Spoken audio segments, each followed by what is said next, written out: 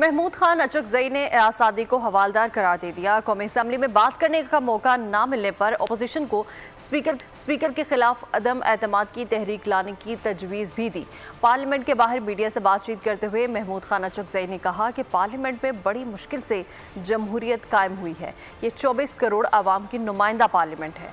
अयाज सादिक साहब, आप हमसे हैं। आपको डिक्टेटर किसने बनाया? एया सादिक सहूलतकार बने हुए हैं। लोगों को बदलने, बोलने दे, लोग सीख जाएँगे।